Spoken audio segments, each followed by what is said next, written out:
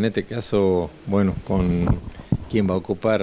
eh, el cargo que había quedado vacante ya por segunda vez, ¿no? Este, así que bueno, esperamos que Florencia nos acompañe en lo que queda de esta gestión y en la próxima gestión. Eh, por supuesto, con todas las expectativas puestas. Eh, lo estuvimos charlando eh, justamente el tema de que hay muy poca gente que conoce de esta oficina que es tan importante y que un poco técnicamente lo va a explicar mejor ella,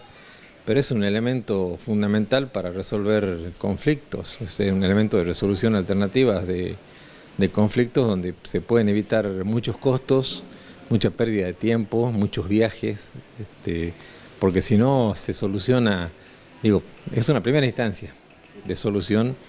y que es extrajudicial, porque hay que tratar de evitar de llegar a la justicia si podemos, por ahí tenemos la voluntad de hacerlo, porque si no, como digo, representa por ahí una denuncia o una cuestión que se puede resolver sencillamente por acuerdo entre los vecinos. Este, llegamos a instancias que, como dije, representan por ahí mucho más costo, pérdida de tiempo, viaje, falta al trabajo y a lo mejor está a mano la solución. Buen día, eh, mi nombre es Florencia Amador y bueno, soy mediadora y recién estaba conociendo a las chicas, cómo más o menos venían trabajando.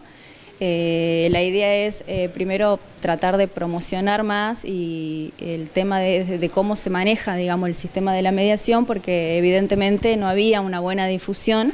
eh, como decía acá el intendente, se puede lograr muchas cosas con la mediación. Eh, hay mucho, muchas áreas por que se puede cubrir y bueno, nada, eso, tratar de, que, de, solucionar, digamos, eh, los conflictos que quizás tiene la gente, que, que como decía también el intendente, con este sistema es mucho más fácil, mucho más económico y mucho más rápido también. ¿Cuáles son los tipos de conflictos que se pueden solucionar a través de la mediación común?